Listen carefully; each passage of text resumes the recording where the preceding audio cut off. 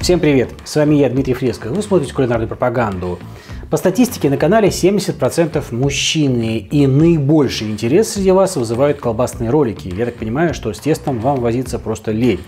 Но, мужики, это реально не менее вкусно и не менее интересно, чем колбаса. И уж точно в тысячу раз проще и, блин, в две тысячи раз быстрее, чем даже самая простая колбаса. Вот действительно, вот отложите в сторону смартфоны, выберите вечер, когда по телевизору будут показывать хоккейный матч, и за 20 минут до начала приступайте к приготовлению. Вы обалдеете, насколько это быстро, насколько это просто и насколько это вкусно.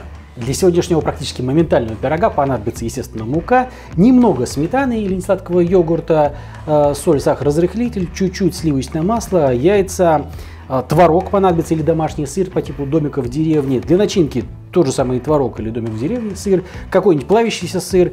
И если вы найдете какую-нибудь пряную зелень, типа кинзы или э, петрушки или укропа или базилика, то вообще будет просто круто. Ну и пиво вы к хоккейному матчу наверняка запасете. Так, бутылочка, когда нам понадобится. Итак, э, представили до начала хоккейного матча по телеку 20 минут. Поехали! К муке добавляю соль, сахар, разрыхлитель, смешиваю. И теперь сюда часть творога, размягченное сливочное масло, одно целое яйцо и белок второго.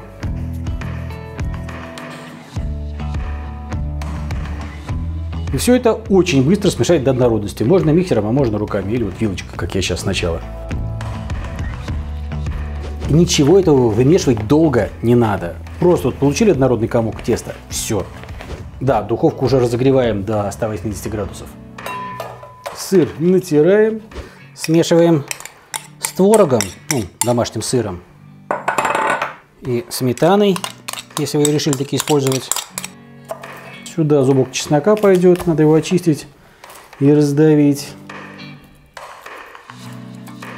И пряная зелень, если есть, мелко рубим. Если нет, не заморачивайтесь, не используйте просто. Мелко, вместе с чесноком.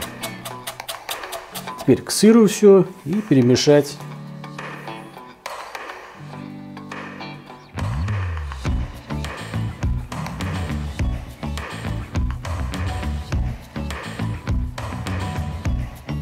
Прошло 5 минут, до матча осталось 15. Лист бумаги для выпечки, на него тесто и сверху еще один.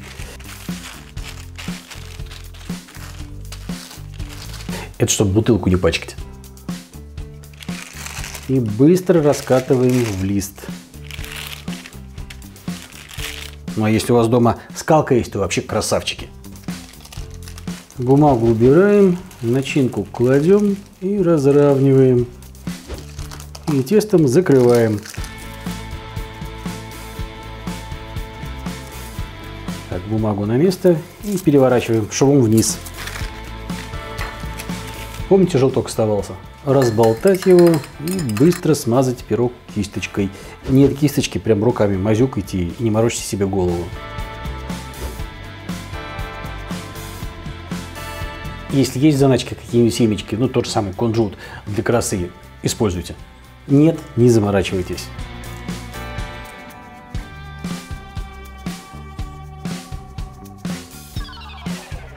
Вот так. Все. Прошло 10 минут. Пирог в духовке.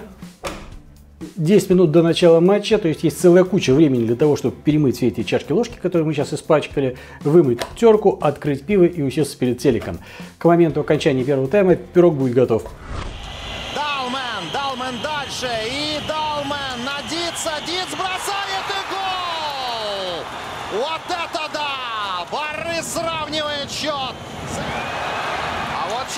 Пушкарев. Еще момент, и это гол! Вот это да!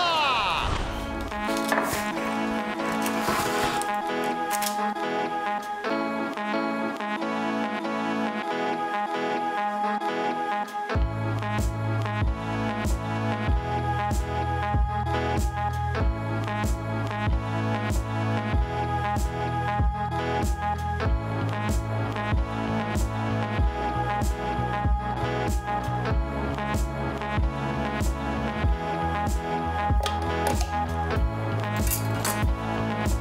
вот такая сырная штука под пиво, как хачапури, только на минималках. Я, кстати, пиво люблю из бутылки пить, а не из э, стакана. Вот такие вот у меня полибейские вкусы. За наших. И эту самую хачапурину, да? Не до хачапурину.